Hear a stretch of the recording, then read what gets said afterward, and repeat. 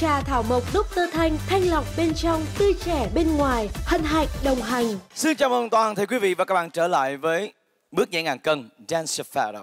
Chúng tôi mời quý vị và các bạn sẽ đến với một cái bài nhảy ngay bây giờ rất là sôi động với một cái ca khúc đã làm mưa làm gió trong một cái thời gian khi nó được đưa ra.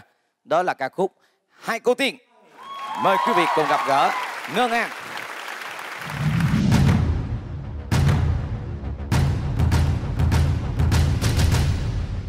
Đi đường rừng thì những cái chỗ đất đá nó rất là mềm trơn, nó khiến cho mình bị trượt chân rất là sợ.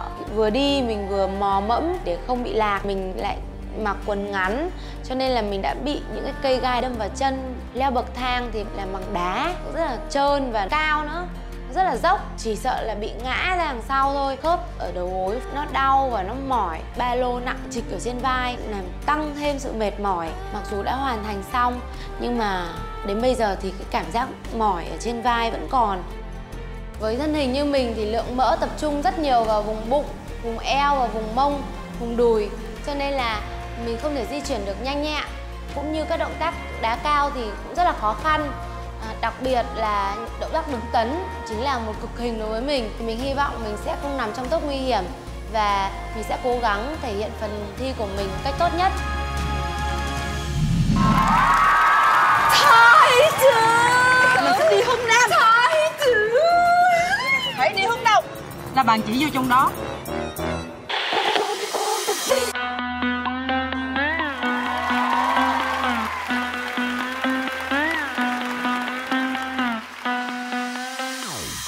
ai hơ ai hai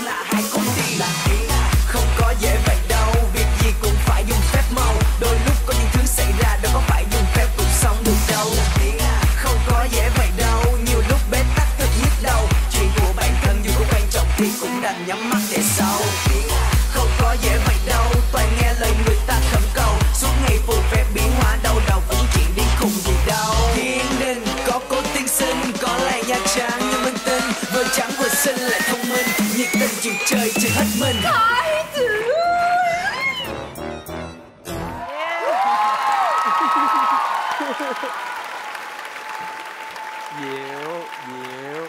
Quan thượng kìa mấy em. Ờ, kêu thái tử làm chi Tôi hết hồn.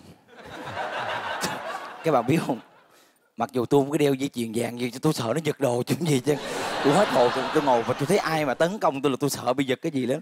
Bữa nay hai bạn rất là dễ thương. Tao đến nỗi nhảy mà cúi xuống rớt nguyên bộ tóc giả ra là thấy cưng rồi. Thưa quý vị, phải nói ngay và giới thiệu ngay nhân vật này là ai để quý vị à, biết Bình thường Ngân An sẽ nhảy với bạn Nhật Anh, một trong những cái vũ công hàng đầu về cái bộ môn múa cột. Nhưng mà Nhật Anh vì một cái công việc riêng nên không thể tiếp tục cùng với Ngân An. Nên chúng tôi may mắn cũng đã mời được một cái nhân vật cũng nằm trong top 4 của thử thách cùng bước nhảy là Á quân của chương trình. Đó là Đức Tiến, là người bạn nhảy mới của Ngân An. Oh. Thái tử Dạ, xin à, mời Hoàng thượng um, nhận xét về cái bài nhảy nó như thế nào. À, thì đầu tiên à, cảm ơn Đức Tiến để uh, vô hỗ trợ cho Ngân An. Em uh, rất là đẹp gái.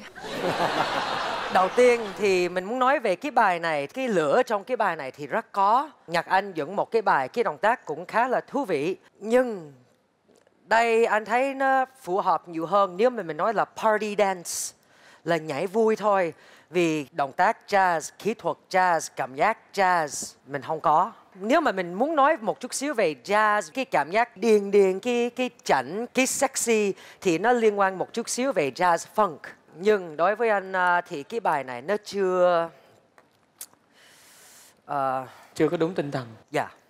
Đó là một ý kiến của giám khảo chuyên môn là John tại vì thực sự ra từ hồi xưa giờ cách nghĩ của thành thì thành cũng nghĩ là jazz một phần nào đó là khi mình biểu diễn nhất là với những cái nhạc bài mà có nhạc sôi động á là mình cũng phải thể hiện cái thái độ ờ Đúng chảnh rồi. chảnh rồi thái Là độ thái độ một tí có. rất là thái độ Dạ. anh đào vĩnh hưng anh nghĩ sao ạ anh thấy cái câu chuyện ha rồi cái tựa đề bài hát nữa ồ anh nói với nu là chắc sẽ bùng nổ nè sẽ tưng lắm luôn và nó thay đổi không khí nó vui lắm và khi ờ, bước ra anh quên mất cái người partner là phải là một nam hóa trang giỏi quá.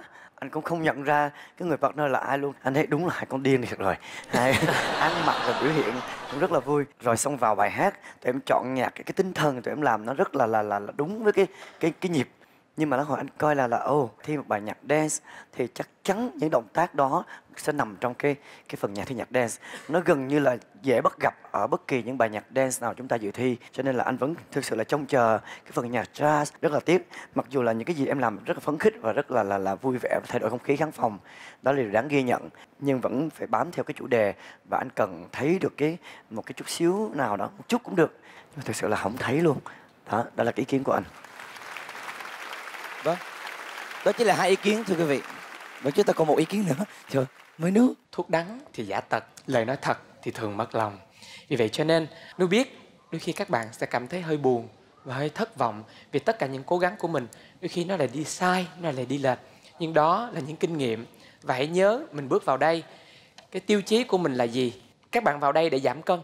Lúc này, nuôi chỉ thật sự rất là hy vọng khi bạn bước lên trên kia, cái số cân của bạn nó giảm càng nhiều thì bản thân bạn vui trước. Còn cái việc những ngày hôm nay, những cái bước nhảy đó, nếu thật sự nó có làm cho bạn đi trệt với lại cái chủ đề hôm nay, chuyện nhỏ.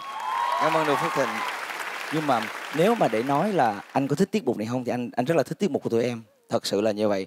Là tại vì với cái cảm nhận của anh thì có thể về kỹ thuật, anh không biết là nó có thật sự là có jazz hay không. Nhưng mà thái độ của jazz thì tụi em hoàn toàn có. Tại vì nếu như định nghĩa theo âm nhạc, jazz là sự ngẫu hứng. Và cái gì nó có sự ngẫu hứng, nó có cái tinh thần sảng khoái trong đó, thì nó vẫn là jazz. Về thái độ tụi em hoàn toàn chinh phục được anh. Cái đó là cái cảm giác của anh thôi, ha? Và thưa quý vị, nếu như quý vị và các bạn cũng yêu thích họ, thì chúng ta sẽ nhắn tin, dự đoán xem họ có được giám khảo chọn là tiết mục xuất sắc nhất tuần hay không.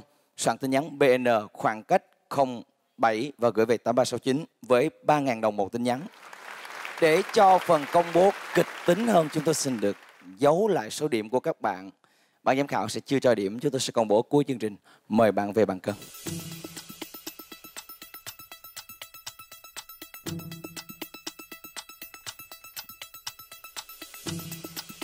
cân nặng cũ của Ngân An là 83,7 và cân nặng mới là 82,4 kg. Bạn xuống được 1 kg 3 và tương đương với 1,6%.